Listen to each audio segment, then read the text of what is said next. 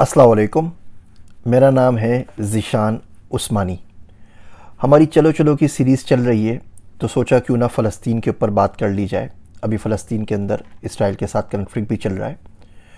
फ़लस्तीन में जाने के तमाम रास्ते मजदूद हैं।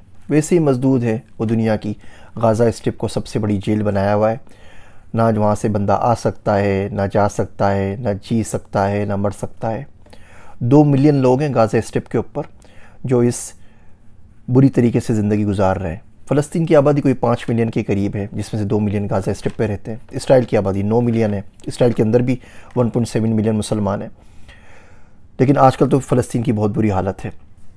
फ़लस्तीन से मेरा पहला तारफ़ कोई ग्यारह बारह साल पहले हुआ, सही तरीके से।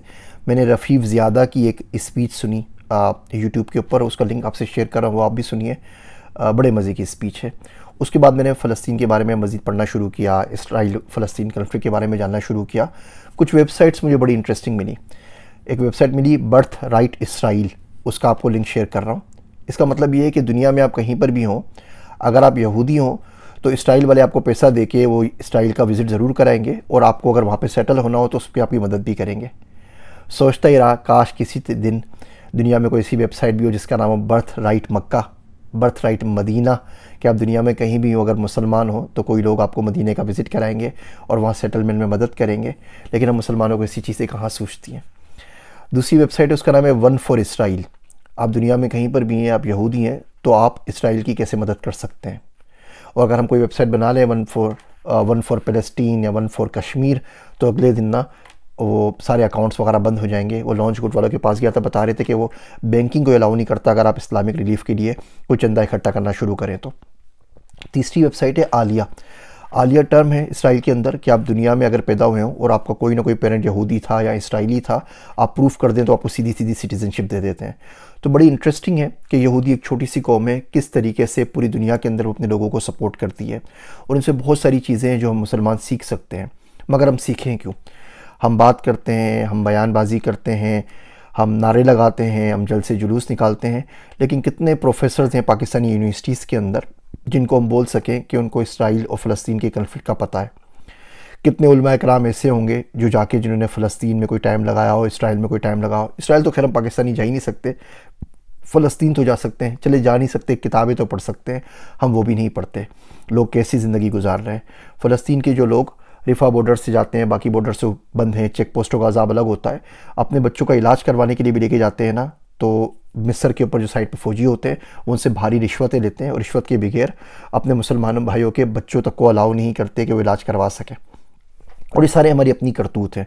हम दुनिया को जितनी गालियाँ देने हैं, वो देने हैं, वो बिल्कुल बजाय उसमें, लेकिन हमारे अपनी करतूत भी कम नहीं है। अब फ़लस्तीन हम जा तो सकते नहीं है तो इसके चलो चलो वीडियो का मकसद क्या हुआ? ये तो मकसद ही था कि वहाँ पर जा सकें। तो इस वीडियो में बात करते हैं हम किस तरीके से फ़लस्तीन की मदद कर सकते हैं। मैं आपको तीन चार तरीके आपसे अर्ज़ करता हूँ, जिसकी मदद से हम फ़लस्तीन की मदद कर सकते हैं। सबसे पहले तो फ़लस्तीन और इसराइल कन्फ्लिक्ट के बारे में पढ़ना शुरू करें। सही नॉलेज लीजिए, क्या हुआ, कब हुआ, कैसे हुआ, आजकल क्या हो रहा है, और ये तमाम चीज़ें अपने बच्चों को सिखाएँ। हमारे बच्चों को ये पता होता है नेटफ्लिक्स के ऊपर शो कौन सा आ रहा है। हमारे बच्चों को ये पता होता है कि वर्ल्ड कप के मैचेस कौन कौन से, किन तारीखों को हो रहे हैं पूरे पूरे टाइम टेबल उनको शेड्यूल याद होते हैं।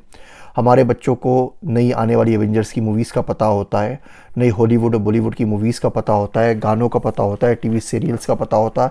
नहीं पता होता तो ये नहीं पता होता कि फ़लस्तीन किसे कहते हैं, इसराइल किसे कहते हैं, गाजा स्टेप के ऊपर क्या हो रहा है और मस्जिद अक्सा में क्या हो रहा है। तो पहली काम तो ये कि पढ़ना शुरू करें, बच्चों को पढ़ाना शुरू करें। दस ग्यारह किताबें दुनिया में अच्छी जो लिखी गई हैं फ़लस्तीन इसराइल कन्फ्लिक्ट के ऊपर, उनके सबके लिंक्स और नाम मैं आपको दे देता हूँ। पढ़े हुए भी ज़माना हुआ, शुरू करें। ऑन पेलेस्टाइन से शुरू करें, नोम चोम्सकी की किताब है फिर वो ऑक्सफोर्ड की सीरीज़ सी वी की वेरी शॉर्ट इंट्रोडक्शन में इसराइल फ़लस्तीन कन्फ्लिक्ट के ऊपर। फिर एक किताब थी कन्फ्लिक्ट के ऊपर कि what you need to know उसके बाद स्पीकिंग ऑफ़ इसराइल ये उस बंदे की किताब है जो तकरीर लेके दिया करता था इसराइल के एम्बेसडर को यूनाइटेड नेशंस के अंदर। और एल आई के नाम से किताब है। वो इसराइल का एम्बेसडर था, अमरीका के अंदर उससे किताब लिखी है। उसका पार्ट ऑफ़ द स्टोरी क्या है? आयसा और रमुल्ला है। बड़ी प्यारी प्यारी किताबें दस बारह किताबें ज़्यादा नहीं है। एक दफ़े पढ़ लें, आप कम से कम इसमें अच्छी खासी जानकारी हासिल कर सकेंगे। तो पहला काम तो ये है कि इसके बारे में पढ़ना शुरू करें, जानकारी करें। दूसरा काम ये कर सकते हैं कि विज़िट कर लीजिए। अगर आप पाकिस्तानी है, मुसलमान हैं, किसी ऐसे पासपोर्ट के ऊपर है, अमेरिकन पासपोर्ट मिसाल के तौर पे आपके पास है ब्रिटिश पासपोर्ट है, कि आप इसराइल जा सकते हैं, ज़रूर चक्कर लगा कर आइए। फ़लस्तीन जा सकते हैं, ज़रूर जाइए। मस्जिद अक्सा जा सकते हैं, ज़रूर जाइए, नमाज़ें पढ़ें, बड़े काम की चीज़ें, ताकि आपका फ़र्स्ट एड एक्सपीरियंस हो कि वहाँ पर हो क्या रहा है, चेक पोस्टों पे क्या होता है, बाकी लोगों के साथ क्या होता है, और आपके साथ क्या हो रहा है। वही आपकी शक्ल है, वही आपकी दाढ़ी है, वही आपका मज़हब है। सिर्फ़ पासपोर्ट का कलर चेंज होने से कितना ज़्यादा फ़र्क पड़ता है, ये बात आपको समझ में आ जाएगी। तो फिर आप लोग इंशाल्लाह मुल्क से निकलने की कोशिश ज़रूर करेंगे कि अगर पासपोर्ट का कलर डिफरेंट हो जाए, आपके बिलीफ सेट का कोई फ़र्क ना हो, शक्ल का फ़र्क ना हो, सूरत का फ़र्क ना हो तो भी दुनिया में आप क्या क्या काम किस किस तरीके से कर सकते हैं। तीसरा काम जो करने वाला है वो ये है कि दुआ करें। दुआ तो आप मांग ही सकते हैं ना। मेरा दोस्त एक अब्दुल्ला तो कहने लगा, यार, फ़लस्तीन वालों की मदद करनी काफ़ी साल पहले की बात है, जब पहले पास सीज हुई थी तो। तो मैंने कहा, कोई तरीका नहीं है, कोई चैरिटी नहीं है जो वहाँ पे एक्सेप्ट करी, क्या करेगा? तो कहने लगा, मैं गुल्लक बना के उस नीयत से पैसे डाल रहा हूँ। ज़िंदगी में जब भी कभी मौका मिला, कभी जाऊँगा तो गुल्लक के पैसे दे दूँगा। दुआ तो मांग ही सकता हूँ ना। तो दुआओं का गुल्लक बना लीजिए और रच के दुआ मांगें। भाई, हमारे बड़ी मुसीबत के अंदर है, बड़ी परेशानियों के अंदर हैं, बहुत से लोग मर रहे हैं। पूरे के पूरा गज़ा स्टिप दबाव बर्बाद कर दिए, उसको नेस्त नाबूद करने के पीछे लग गए और दुनिया में कोई साथ नहीं दे रहा।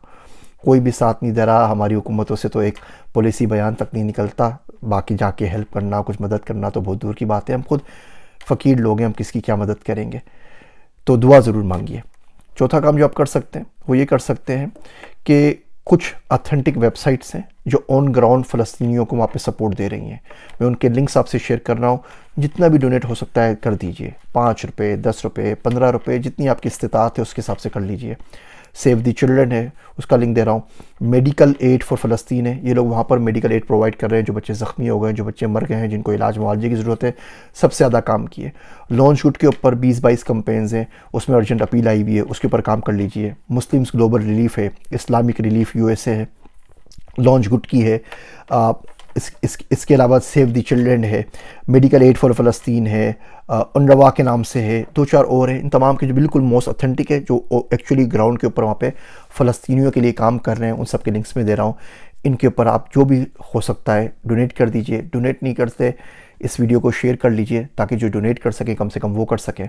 कुछ लोग पढ़ लें कुछ लोग उस बात को समझ लें, कुछ लोग दुआ कर देंगे, कुछ लोग अपना गुल्लक बना लेंगे, कुछ लोग डोनेट कर लेंगे, कम से कम हमारा कुछ ना कुछ वास्ता सिलसिला हो जाएगा, कुछ ना कुछ कंट्रीब्यूशन हो जाएगी उस चिड़िया की मानंद कि जब आग लग गई थी चोश में पानी भर के लेकर आ रही थी, उस आग को बुझा रही थी। कम से कम उन लोगों में तो नहीं लिखे जाएँगे ना, जो दूसरे लोगों के साथ, जो ालिमों के साथ खड़े हुए थे। मजलूम के साथ खड़े नहीं हो सके, जितनी कंट्रीब्यूशन कर सकते हैं अपने हद तक, वो तो कर सके। उम्मीद करता हूँ इस वीडियो पे आप ज़रूर अमल करेंगे। मेरे वास्ते दुआ कीजिएगा। मैं हूँ आप सबका, ज़िशान उस्मानी।